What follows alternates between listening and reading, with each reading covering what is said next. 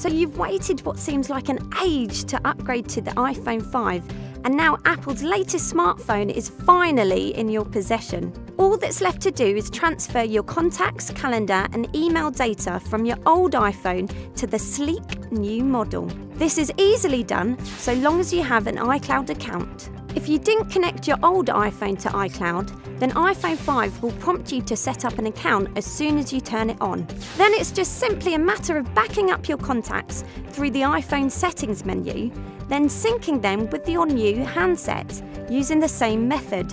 So now you're all sorted with all your mates' numbers, get calling them to casually boast about your brand new iPhone 5. To get more help with your iPhone 5, visit carphonewarehouse.com.